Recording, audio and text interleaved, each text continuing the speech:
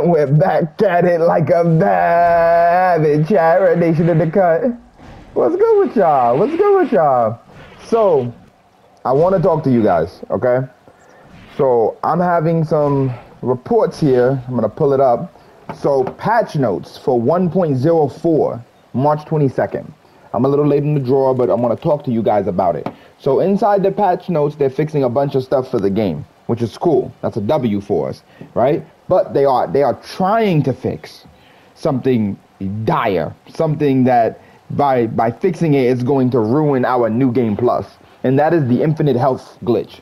Um, if you guys don't know, if you haven't seen from my previous video, um, how the Constitution works, you put points in the Constitution and you revert, and you gain health. So you see my health, my health is at 5,607.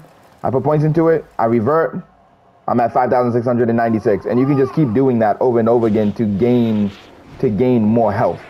Now, in this new patch, it's actually changing everything. Um, they're trying to eliminate that bug. So what I recommend for everybody watching this video right now is to hit the like button, subscribe if you're new, and hit that notification bell.